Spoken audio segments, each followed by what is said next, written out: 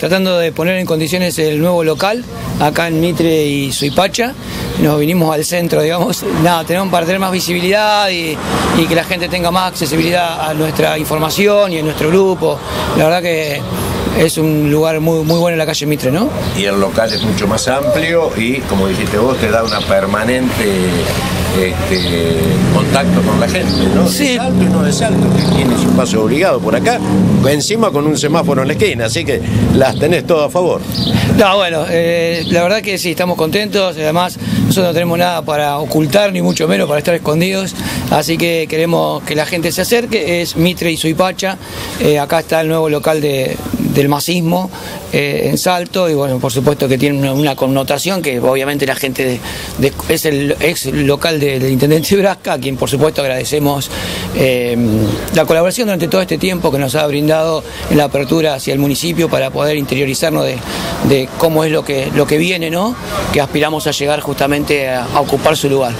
Eh, Daniel, este, ahora sí, esta es la recta final, camino a, la Intendencia.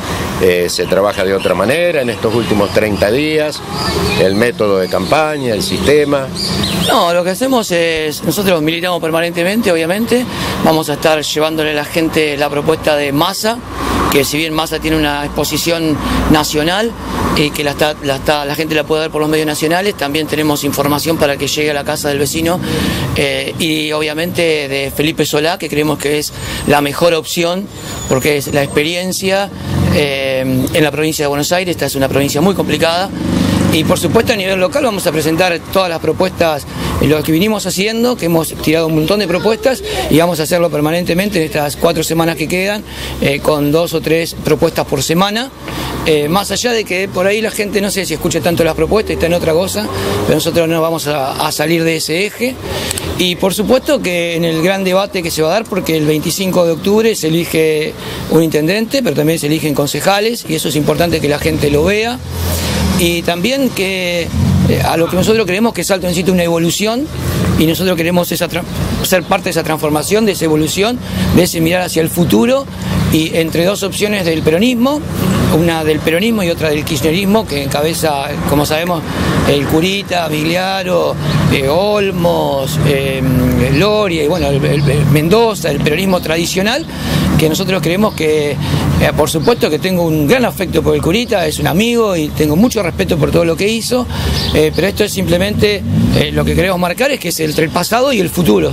Y nosotros queremos ser parte del futuro, de la evolución, de la transformación, de, lo nuevo que se necesita. Esto no es hablar mal de, al contrario, yo vengo a la política por el Curita, a quien respeto, quiero, a su familia, pero bueno, son dos visiones, digamos, este es el kirchnerismo con el peronismo, eh, lo nuevo con lo viejo, eh, y eso es lo que queremos debatir en propuestas, que seguramente las tiene el cura, que tenemos nosotros y confrontarlas, y también desde el peronismo, porque evidentemente el peronismo necesita una, una evolución eh, y es lo que queremos encabezar, digamos, son las dos opciones, pero la- el destino quiso que quedara el cura que me trajo a la política y yo discutiendo por un mismo eh, Espacio, por un mismo espacio, no, él está dentro del kirchnerismo, nosotros estamos dentro del peronismo, pero por un espacio, no, por la búsqueda de el mismo sillón que es el de la calle del Diario Buenos Aires y por la búsqueda de la renovación del peronismo, porque la gente tiene que entender que ese peronismo, digamos, logró cosas para sí mismo, pero no sé si para los militantes. O sea, así son eh, eh, jefes del ANSES, eh, directores del registro de las personas, siempre les toca a ellos. Y el que milita, y el que,